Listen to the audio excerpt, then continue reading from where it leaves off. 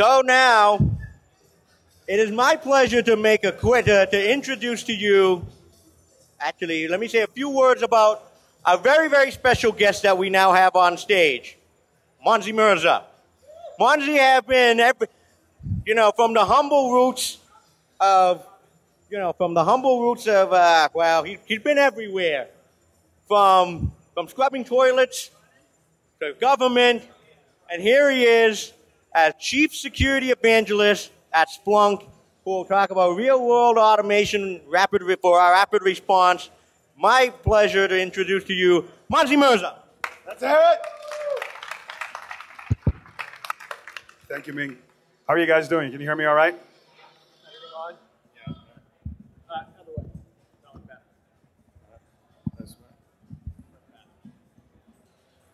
Can you guys hear me okay now? Is this better? Yeah. Is this better? Yeah, all right. Good morning. So, th- thank you for the kind introduction, Ming. My name is Monzy Merza. Our time is short. I'll get right to the point. I've done a bunch of things, and those are not important sometimes. But uh, here's what I'd like to uh, first thank Splunk for allowing me to be here. A lot of people work for. Uh, for a lot of organizations that don't let them come to DEF CON or Black Hat because they think it's a boondoggle. So it's not a boondoggle. It's about making friends and, and, and learning from the community. So I'm really grateful for Splunk to, to, for helping me do this. So very quickly on the agenda, I basically want to cover four things today. First, I'll talk very briefly about what the motivations are for this kind of a discussion. Then we'll talk a very minimum set of requirements. Then we'll go over a couple of use cases, and then you'll see because we'll use some specific technologies in our examples. Then you can say, well, what if I don't have those sets of technologies? What if I have something else, right? If you're thirsty, I have your solution here. So you can get in the spirit of what's going on. Yeah. So let's jump right into it. First thing, when you are looking at a network or an environment, when you show up to work every day in the morning, whether you're a sysadmin or whether you're a security analyst, and you come to work and it's your first day at work or your first week at work, you have to understand some things about your environment because you can't just get to work, right? There's no real, real sense of, oh, here's a piece of malware or here's an incident, and so you're going to follow these steps. Some organizations are very mature. They have these things called run books. But I talk to hundreds of organizations a month, and large majority of them do not have anything equivalent to what's a run book. And a run, for those of you who are not familiar with the term run book, maybe you know it with other terms like playbooks. So the idea is that when you see an alert or when you see something interesting, you follow a certain set of processes. So what I want to do today is to talk a little bit about that in the context of a rapid response environment. The overall goal is what we want to do is really to reduce the cost of exploration. What do I mean by that? The, the thing is that when we see something bad, we all have a general sense, an intuitive sense of what to do about it, but maybe the tools that we're using or the environment that we're in we can't actually execute those things. And so it takes a very long period of time to do any number of basic things. So I'm going to talk about some very simple things that can be aggregated together. None of this stuff is novel. I'm not the inventor of any of these techniques. But the thing is, I see people burning lots and lots of time all the time. Whether they are just starting out in the security industry, whether they are IT guys, sysadmins, or whether they're or if they're senior security guys who've been in the business for a long time, I see people burning a lot of time on the basics. And, that, and then ultimately what happens is people tend to give up and then you don't get value out of what's going on. So I want to go through a quick scenario. When you download a file somewhere, have you ever wondered maybe this is a bad file? And then what do you do? You, you try to figure out like, has anyone seen it before? So maybe you upload it somewhere. Maybe you go to VirusTotal. Maybe you go somewhere else. Um, and you try to figure out, well, no, my organization doesn't actually allow me to upload it, or I can't get to that web URL right now, or something like that. And so you ultimately you stop. You don't do that, right? How many people like actually upload everything that they ever see to like VirusTotal or something like that every time they get a, dump, a download, right? There's very there's like two people in the back. We don't because it's because it's too expensive because it takes too long. You have to make some choices. And if you, if you take on the pain, then you have to work on it. If you, if you tell someone, then you might end up being responsible for it. So you do nothing. And that's bogus. So my goal is to help you share a couple things with you so that you can aspire to do, in my mind, as little as possible, but do that with confidence so that you know where you're headed and what's going on. So let's take the last example, right? If you download a file from somewhere, and if you don't have a super awesome malware sandbox, no problem. Here's what you do. I'm going to go through sort of a, an ingredient section, and then I have a script at the end of this that's very simple that you can follow. So what you, one of the things that you can use is Team Cymru has a malware hash repository that you can interact with using DNS or Whois or even HTTP request. How many people are familiar with that? There's a few of you, right? And those of you who are not, you can, you can use this. And so the URL is there. And then you, you can take whatever file you have and you can run it through that and you can get some result back, right? So here's a very basic example script of what that might look like. You might want to follow a directory and for any file in that, so, so any, every time you download something, maybe it goes in a downloads directory, right? I think everybody sort of does that by default. And so what you can do is you can run a little job in bash that says anytime somebody, something goes into that, that suspicious directory, I want to print the timestamp and I want to make a request to Team Cymru for this particular file. And then you can get the results back and then you can move the file out of the suspicious directory into a directory that's called checked. Because you don't know whether this file is good or bad, but you know that you've checked it, right? So then it's done, so it's in that other directory. What Team Cymru re returns to you as a result is a very simple result that says, that has a date and timestamp, which is what we printed, right? Because we echoed the date. And then Team Cymru result is at the bottom of the screen here. That's showing you a date, a last seen epoch time date, and the percentage of, of antiviruses that they have in their databases that actually detect that particular file as being malicious. So you may not have 15 different AV engines or 15 different analysis engines, but these guys probably have many, many. And so you can take advantage of that very quickly. So very simple, very simple thing. You can, you can attach that to everything that you download. So what did we, what did we do? Nothing fancy, right? We check a file in a directory every so often. We move the check file and we use dig to do a DNS lookup. I'll just go back if you missed that, right? So we used, we used dig to do the lookup, which starts up here. And we're appending the name of the file that we picked up and then we make the request, right? Plain and simple. So the next thing, what if, how many people in this room use Splunk? So Splunk is a free download. You guys should like go get it, right? And it's, I don't know, it's, I'm biased. I've used Splunk for a long period of time, almost 10 years now. So um, you can download it. But if you have Splunk in your environment and you want to integrate with something, you got a new tool and you need to integrate it. Well, you can go and, and hire professional services and you can do a whole bunch of other things and spend months trying to figure that out. So let's figure out how we can shorten that time period in the spirit of being lazy. So the first thing that we want to do, let's, as an example, uh, Paul Vixie is going to talk at, at, at, this venue later on this afternoon, I think. And um, so he's, he's working for a company, he started a company called Farsight. And Farsight had a lot of passive DNS information. So what if you want to integrate that passive DNS information with Splunk very quickly? Well, one of the things many people don't know is that Splunk has a CLI. You can run just about any command that you run on the Splunk web UI, you can run it from the CLI. So here's an example of looking at a particular set of logs from a firewall and then figuring out which ones are the top IP addresses and then looking those IP addresses up against the Farsight database. So plain and simple schedule again, right? It's just a for, it's just a for loop. So for anything I get from my Splunk search, so the Splunk search starts up here and it ends all the way down to here. This is the URL for the Splunk server. And then the results that come back, this is the, this is the Farsight script that you can download from Farsight, and then you can execute it. And so you get to know what happens, what's related to that particular IP address. If you did it on the command line, this is what it would look like, right? This is your output as a result of running that little, just that little snippet.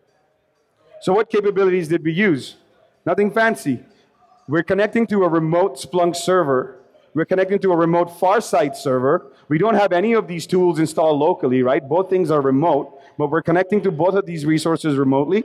And then we're collecting the timestamps and storing it so we know when we checked for something.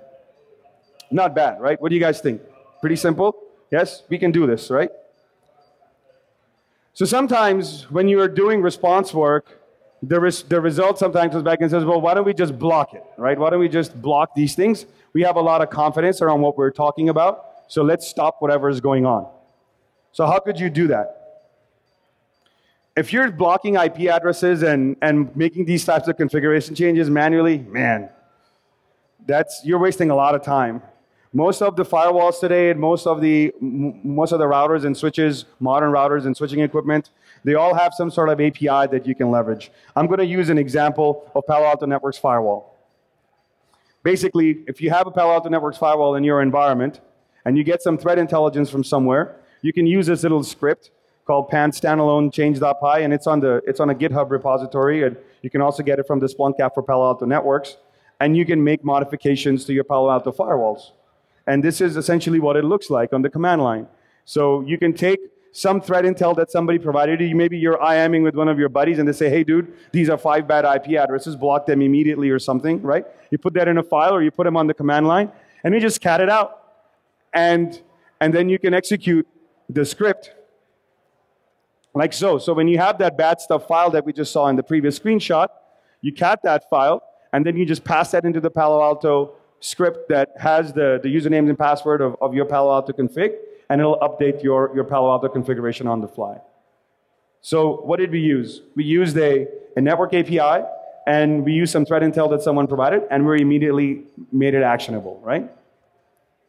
So what would happen if you were to combine all three? So these are three very different examples, right? So let's review. So the first thing that we looked at is I downloaded something, and then I checked for a hash against Team Cymru. Okay, interesting. The second thing that we did was what? Who was paying attention? What was the second technique that we used?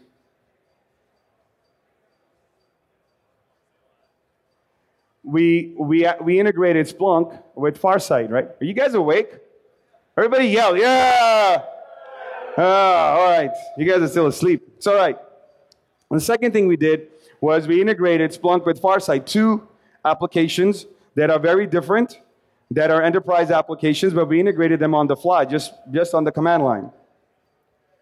And then the third thing that we did was this automated blocking. So wouldn't it be cool if you could combine all those three techniques? How would you do that? Well, when every time you download a file, you can look for a hash. If the hash matches something that's malware, you can then look back into the Farsight style of, of intelligence, whether it's Farsight or whatever it is that you use. And then you can know what were the different domains that were interacting with the same domain from where this file was downloaded from. And then you can block all of those domains automatically. So let me ask you a question. If you had to do that today, how long would that take you? It'd take you hours. And if you had to do that for every malicious file that you downloaded, you'll never catch up. But you now I just gave you these three different pieces. You can line them up all together, one behind the other, and just pipe them through, and you're done. And you can do that for every single thing that you download, and you can do that automatically. So now that problem is solved. And if you're really paranoid and say, well, what if I block something that my people use all the time? You can, you can match it. You can download the Alexa 1000 on a regular basis, and you can diff it. You can just put that one pipe in the middle to diff it so it doesn't block something and then continue on with the rest of the pipe. Or if you're using Splunk, you can, you can diff it with your own top 1,000 or your own top 10,000 so that you return a Splunk search that's actually looking at all of those and then you can automate it in that fashion. So you're doing it responsibly. So we covered basically three different things across which we automated. We pulled data off the network, which was our little download example, right? And we, we looked at the endpoint which was also our download example in some respects, and the network example also with the Palo Alto that we're actually making changes. And then we also integrated that with threat intelligence. So the next time your boss says, can you integrate threat intelligence and network and endpoints information together? What are you going to tell him? What are you going to tell him? Yes, I can do that, and I already did. So these, just a quick summary, right? Because we talked about some very specific things, I'm not endorsing any given product, right? This is, all of you use, have different product mixes, and you might use different technologies for any number of reasons. But abstractly speaking, these are the capabilities that we used. We, we did things on the command line. We didn't have to fight with somebody's GUI, or we had, didn't have to struggle with things, trying to do crazy things. We used a REST API or an API interaction, which was our Palo Alto example, and also the API for Team Cymru using Dig, and the API for Farsight using the Farsight Python script was already there. That script is already there, they just give it to you. So that's the second piece. And the third thing is, just because you don't have something doesn't mean that you can't get access to something that is relevant. So as an example, with the Splunk and Farsight integration, the Splunk install wasn't on our laptop in that example. Remember you had that URI? Let me back up. This one, right? Nope, one more. This is a remote Splunk server. This is not what's installed on your laptop, on your desktop. So that's how you specify in Splunk that you're going to connect to a remote server. The, the DNSDB query from Farsight actually calls a remote Farsight server. So it's not even installed locally. You don't have these tools. The same thing is true for the Team Cymru example, right? You're just using the internet to, to, to help yourself do better. So that's, that's the second piece that we use. And we, and we were able to do this enrichment with new intelligence that we received, which was our threat intel piece that somebody else is providing us. And we just use some, some Unix basics, right? Some Linux basics. We use dig, we use bash, and you can see those bash, those bash strings are not, are not super sophisticated. They're just very basic for loops with, some, with, with, with, a, you know, with a little bit of catting or reading a file or reading from a particular search result. So I want to give a couple of shout outs. I want to thank Alan Craig for Farsight to, to helping me get the, uh, the Python DNS stuff and helping me understand how that works. Mark Benoit, he's one of the guys at Palo Alto Networks, and um, he actually gave me a, a, Palo Alto firewall to experiment with to test these kinds of things out. Lots of people use Palo Alto firewalls. Of course, Team Cymru for making this stuff available for free for non uh, for uh, for non-commercial uses. You can get commercial licenses from them, and of course Splunk. And if you guys want to learn more about Splunk, there's a big Splunk booth back there. If you want to give a big shout out to my Splunk colleagues, Hey, Splunkers, are you listening? Everybody wants to thank you. Say thank you, Splunk. Yeah. And of course, the Wall of Sheep family. I mean, without you guys and without all the Wall of Sheep organizers, this would not be, this would not be possible. So my message to you is, let's go back to where we started, that you should really aspire to do as little as possible, but do little with confidence so that you can do more. Thank you for your time.